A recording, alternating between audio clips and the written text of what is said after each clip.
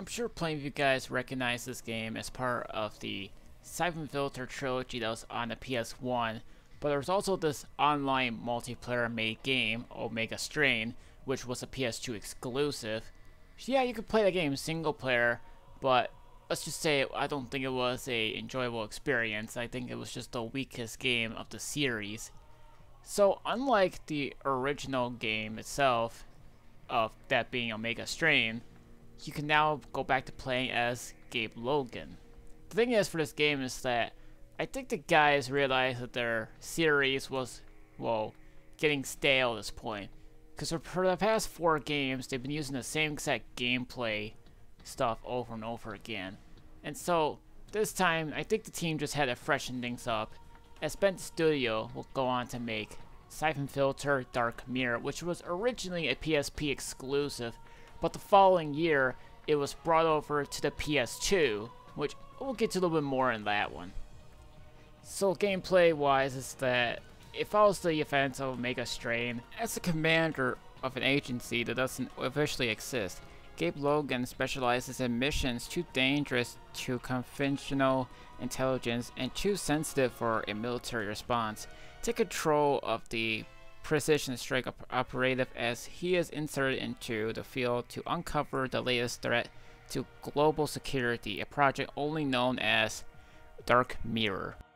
Alright, with that one out of the way, I think we should just talk about the gameplay for this one. Is that they freshen things up by having a a more of a either a center or maybe somewhat of a third person shoulder perspective.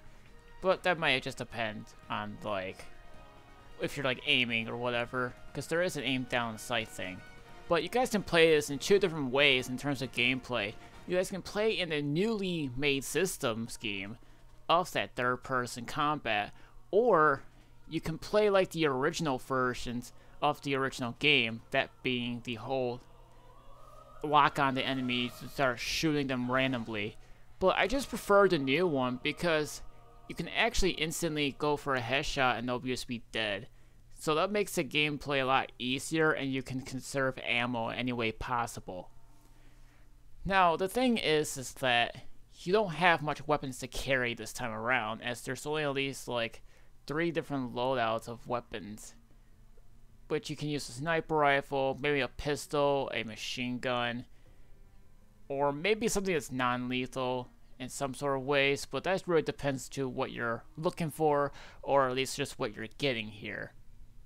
There's also some gadgets for you to use, but that just depends on some certain areas of the game. But there's also these secret files that you can find along the game to unlock some sort of concept art. But you also have these goggles. Now they really depends on what they do.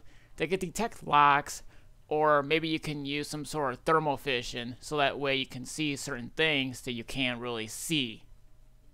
Oh, and can I just say something about this game? This game has a lot of trip mines. Yeah, they have way too many mines around these places, and I always remember them for this.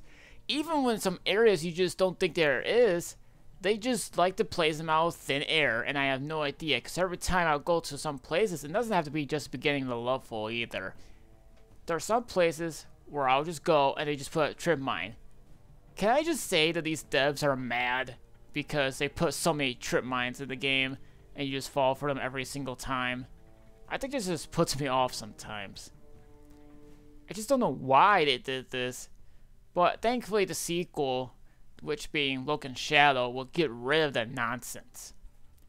But one of the biggest differences between the PSP and the PS2 versions, I just want to say, is that the PSP version had online play, while the PS2 version didn't.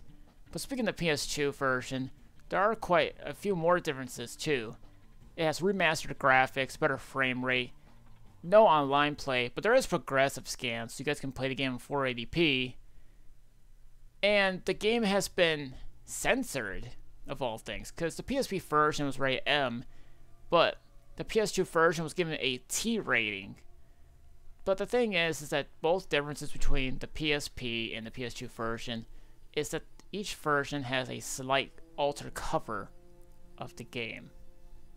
They censored some of the swearing and the violence and some references here and there. I don't know why they did this. And you can easily tell whenever you hear the script going off. So once you compare the two, you'll see what I mean. But don't worry, the PSP version is available on the PS4 and PS5 as part of the emulation. But if you guys did download the game previously from your own account, you get it for free. But don't worry, it has R-Stick support. So anyone that wants to play modern, on modern systems, then you could do so. It's weird because originally when it launched, it didn't have the R-Stick support, but now it does. So you can play like it with an actual R-Stick. But to be fair, the PS2 version does support R-Stick support, so that's good. I just think you need it just for aiming. I'm pretty sure there's enough differences on the PS2 and the PSP versions alongside there. But the thing is, is that for this game, I already mentioned the weapons and that, but you can actually melee attack people from either front or behind. You could do a, a stealth kill, or you could just shove them a train or something like that, and then they just be dead. It was just funny enough that I recorded a short of the thing, and a lot of people seem to be laughing about that one. So for anyone that just felt like the original series was just getting stale at this point and wants something new and fresh, then give this game a try. It's pretty cheap on the PlayStation Store, so you shouldn't have a problem finding the game yourself.